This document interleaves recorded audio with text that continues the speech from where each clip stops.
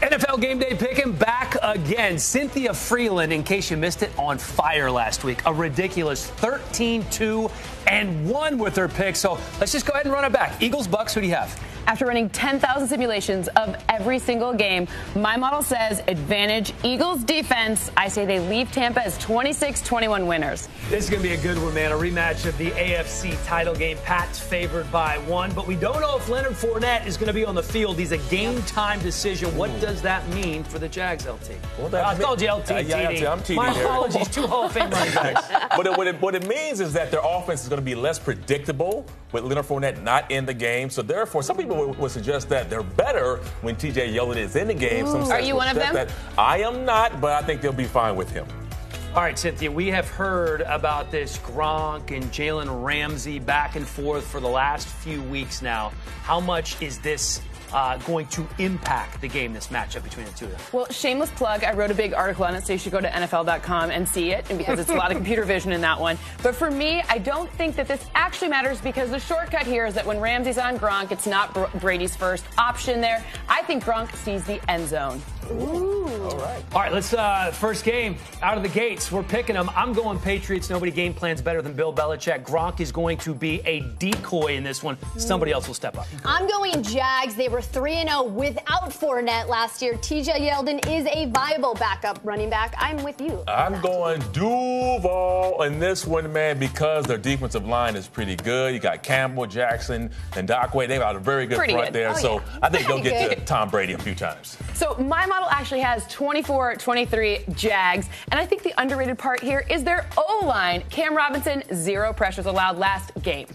All right, we want to know what you think. Who wins, Pats or Jags? Be sure to vote at NFL Game Day on Twitter. Results coming up in just a bit. I'm voting Jags already, guys. Uh, let's go to the NFC North, shall we? Where the two division favorites face off in this one. The Vikings swept the Packers in 2017, winning 23-10.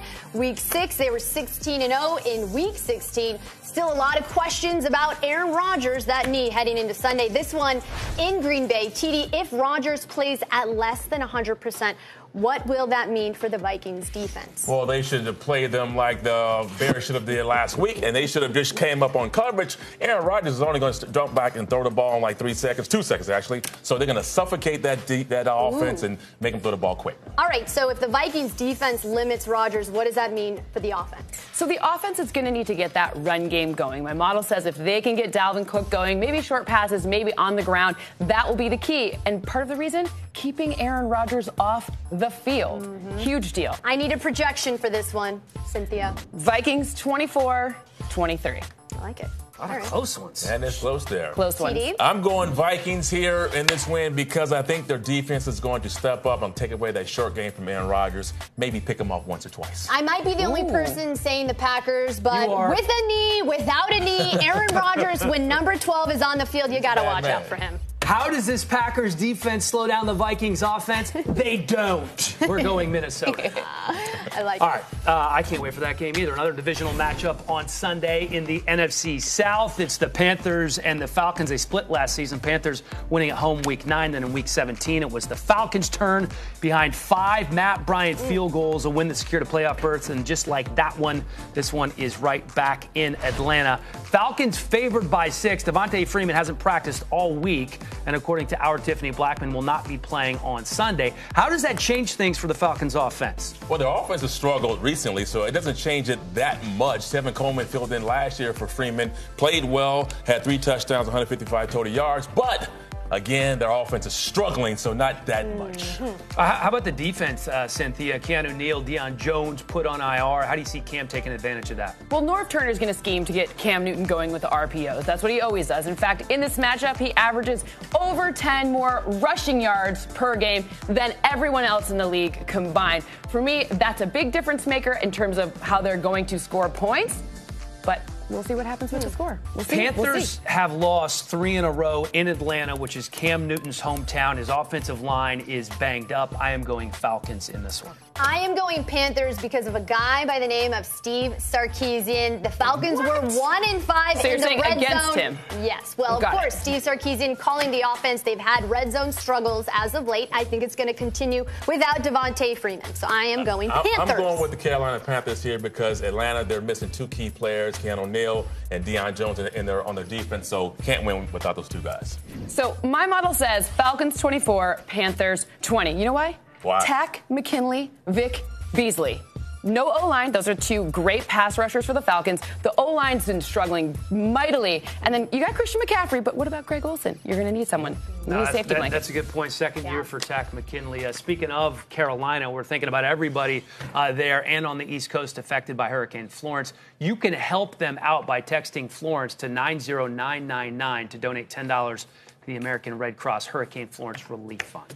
Okay, Dan. Uh, more game picks in just a bit, but let's talk individual performances in a segment we like to call more or less. Drew Brees going up against the Browns defense, more or less than two touchdowns. Uh, more in this, one. Drew so Brees. easy. More, I mean, Get that's right, that- Three last week. Four, I'm giving. I'm going to record four touchdowns for Drew Four Brees. touchdowns. Ooh, There you go. Cynthia.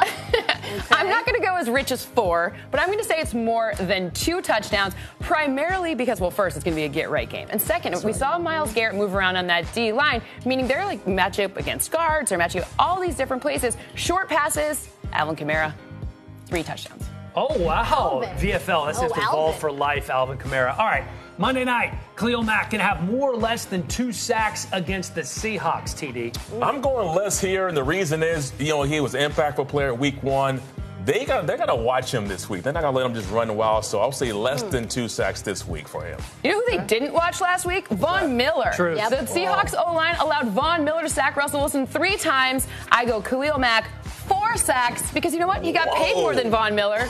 He's got to he's got to Whoa, live with his four paycheck. sacks? Yeah. Four. You heard me. Did you not see what happened last week to Russell Wilson? It was a sack party. Uh, finally, Saquon Barkley will score more or less than one touchdown against the Cowboys. TD, take it up. I'm going more than one. He's got a better supporting cast here, so they have to focus on more than just Saquon Yep. here. Give me two touchdowns for Saquon Barkley. Well, listen, you don't go against a Hall of Fame running back like LT. Just kidding. I'm going to TD. Saquon Barkley, two touchdowns in this one for me as well. One on the ground, one in the air. It was a huge win for the Jets Monday, and now they face the Dolphins at home. TD, the Jets scored 48 points. Can they do that against Miami? They cannot do that again. That is a historical amount of points there. Everything bounced their way. They had five turnovers in this game.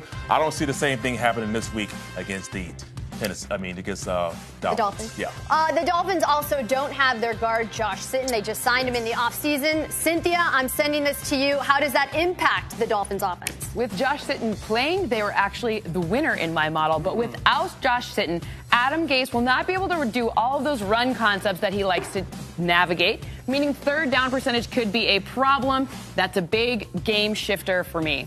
So the Jets favored by three with that rookie quarterback coming off a fantastic debut. Sounds like you, uh, I, I kind of know what you're thinking in this. Yeah, I kind of gave it away. All right. So I have 22 for the Jets, 21 for the Dolphins, meaning the home team wins this one. All right, another close game. I like the Dolphins in this one. Kind of agreeing with TD. I just don't see the Jets being able to do it again. I'm not trusting a rookie quarterback in Sam Ooh. Darnold just yet. TD? Wow. Okay. Okay. I like the Jets in this one. And listen, they, they're not going to get five turnovers, but they'll get three against Ryan Tannehill. They'll beat the Miami Dolphins. So give me the Jets in this one. Give me the Jets as well, TD. I liked what I saw from that defensive line, and Ryan Tannehill and his surgically repaired knee are going to be in trouble without the guard. I am taking the Jets. It is time now, though, for On the Hook, presented by Bass Pro Shops and Cabela's. TD, who is on the hook to get an upset win this week? On the hook, go the uh-huh. Tampa Bay Buccaneers on the hook for an upset win. Listen, Ryan Fitzpatrick Fitzmagic, as you said, three and one as a starter since 2017, and they have momentum and confidence, and those two big factors in this league are huge. Give me those Bucks. Wow, that is a hot take, that's for sure. Patrick Mahomes also had himself a stellar week one performance, winning AFC Offensive Player of the Week. Sunday, he is sitting down for a one on one with our guys on NFL Game Day morning. Start your Sunday, people at home, with Rich and the Gang at 9 a.m. Eastern. It is only on NFL Network. Dan? Very much looking forward to that, but not as much as I'm looking forward to this. Quick picks with Cynthia right now. Texans, Titans, Texans, favored by three. What do you have? So I have the Texans coming out on top 23 21. Mm. Tennessee, injuries to the O line, tight end position, and quarterback, which is ultimately the most important one. That shifts my model completely. Yeah, Mike Vrabel says we're going to see both Blaine Gabbert and Marcus Mariota. Raiders, Broncos, Broncos favored by six. I have the Broncos taking this one 24 21. I think the Raiders, they, we saw the start of something on their defense with some, we didn't expect them to come out as strong as they did in that first half. I think they have a plan for that Broncos offense. Oh, I can't wait to see that game. I love the Broncos in this one. All right, Seahawks, Bears. Bears favored by three.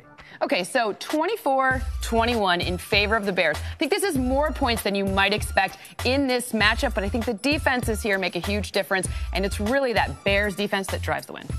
I like the way you think here. Let's check out a couple more of your uh, week two projections. Browns at the Saints. Saints winning by 10. So the Brownies going to be, uh, what, 0 1 and 1. 49ers win 24 21 over the Lions. And then you have the Rams easily taking care of business against the Cardinals. All right, you want more projections? Dave Dameshek guarantees that you will love these guarantees, starting with Captain Kirk and A Rod. Here is Shek with 60 seconds.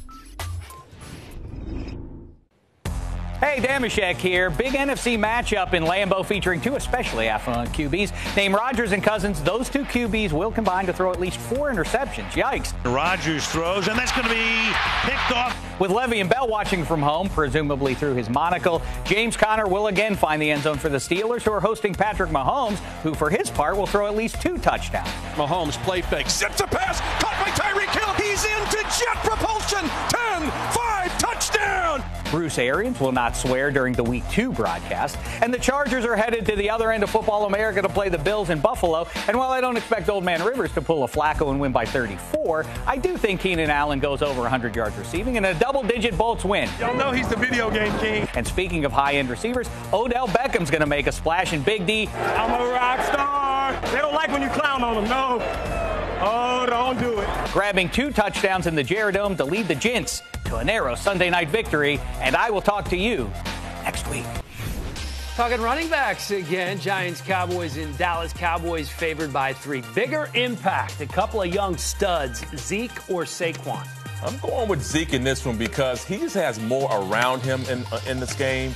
And you know what they're going to do to Zeke? They're going to pack that box and make uh, Dak have to throw the ball. So Zeke has more weapons. So give me, I mean, give me, uh, give me Saquon Barkley in this one.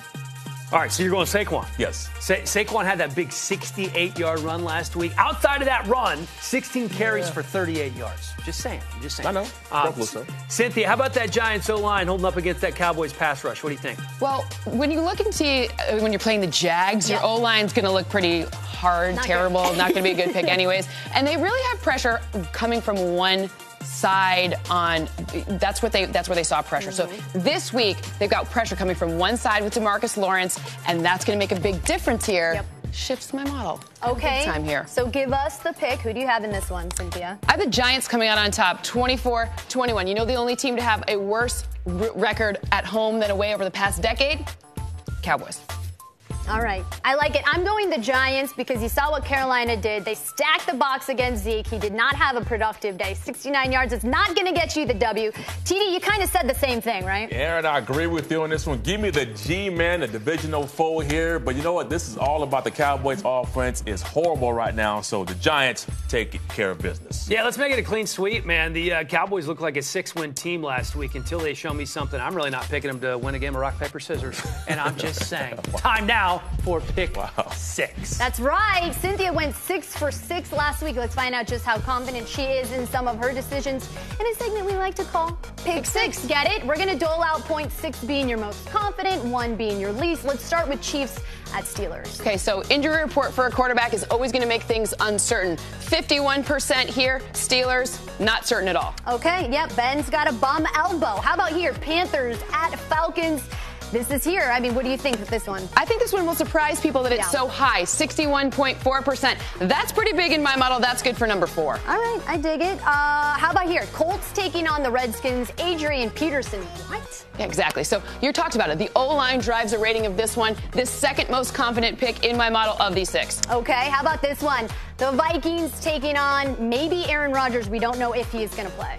So the Vikings defense seals the deal for this one in me, but it's always Aaron Rodgers, and that quarterback is a big difference maker. It's the second, so no, second Yeah. least confident. And he's pretty good at home. Uh, Very good at home, especially taking on Ryan Fitzmagic. Uh, what do you have in this one? Yeah, so this one, sorry, Tampa Bay, you can come hate me some more this week. I'm picking the Eagles. 57% of the model. That's good for number three. No Brent Grimes, no Vernon Hargreaves in the secondary. Chargers taking on Josh Allen and the Bills. So I don't think this part's the surprise, and I don't think this part's the surprise. But the reason is because Philip Rivers, those wide receivers are going to catch the balls. They can't keep dropping them. Chargers. Yeah, Josh Allen. Sorry about it. The rookie is not going to face Joey Bosa, but you have the most confident pick, the six. Uh, with the Bills losing, the Steelers, because we're not really sure about Big Ben, so you, that is your least confident pick. But you did go six for six. Um, And the stars here again, so the luck is back, you know? that's the lock of the week, though. This this one right here. The Yeah, you got to start. That's how you make the six come true is if you put the star there. So we It's did that. good luck. Lock of the week. That's right. Uh, TD, what is your lock of the week? My lock of the week is going to be the New Orleans Saints. They're licking their wounds right now. They've got to get right team coming in with the Cleveland Browns, Drew Brees. They're not going to lose back to back games at home. It's not going to happen. So give me the New Orleans Saints. All right, a little recap of some of our picks today. There are no unanimous decisions on this page, but a lot of people like the Texans, the Jets, and the Vikings. Just in case you were wondering, Cynthia Frelund went 12 2 and 1 last week, TD 10 4 and 1. Uh, Erin and I bringing up the rear. But uh, we were both 500 or over. Yes. Okay? And now we have our clean sweeps uh, Broncos, Giants, and Bears. You can pick them with confidence. Dan, it is time to get to our Survivor Pool picks in advance. Last week, it was great for the ladies, not so much for the dudes. Uh, myself and Cynthia 1 0 after taking the Ravens. Dan, you had the Saints.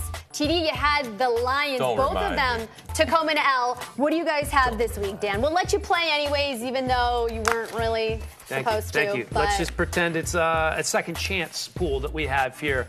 I- I'm going to go with the Chargers. Uh, a lot of confidence in my hometown Los Angeles team now. They're going to roll. Uh, the actually the Cardinals were one and eight on third down conversions, and that was against a Redskins defense. They're playing the Rams. I'm picking the Rams, guys. Cynthia. Well, I'm picking the Redskins this week. I love O lines. I will always pick good O lines all day Redskins for me.